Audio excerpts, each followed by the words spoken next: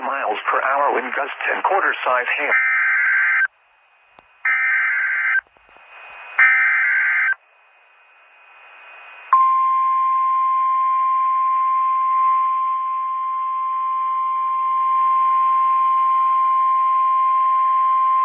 The National Weather Service in Upton, New York has issued a special marine warning for New York Harbor until 7:45 p.m.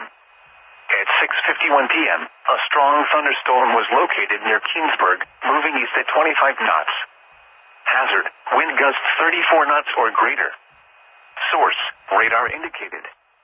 Impact: small craft could be damaged and briefly higher winds and suddenly higher waves.